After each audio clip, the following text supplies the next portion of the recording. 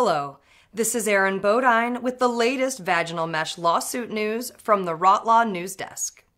This week, several women filed multi-million dollar transvaginal mesh lawsuits in Texas state court against two Johnson & Johnson companies, Mentor and Ethicon, and two other mesh companies, Cook Medical and Endo subsidiary American Medical Systems. The 43 plaintiffs have filed the suits in the Judicial District Court of Dallas County, Texas. The surgical mesh lawsuits allege that the defendants knew about the device's defective nature when they marketed them.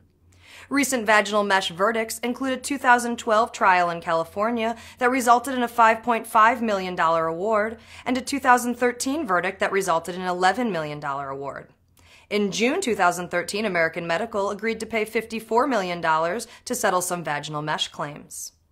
The Rottenstein Law Group encourages anyone who has been harmed by vaginal mesh to visit their website for lawsuit updates.